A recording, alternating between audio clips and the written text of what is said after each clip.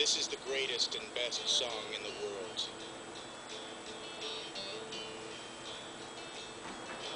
Tribute. Long time ago, me and my brother Kyle here, we was hitchhiking down a long and lonesome road.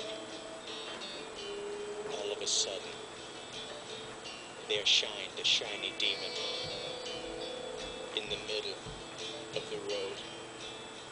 And he said, Play the best song in the world, or I'll eat your souls. Well, me and Kyle, we looked at each other, and we each said,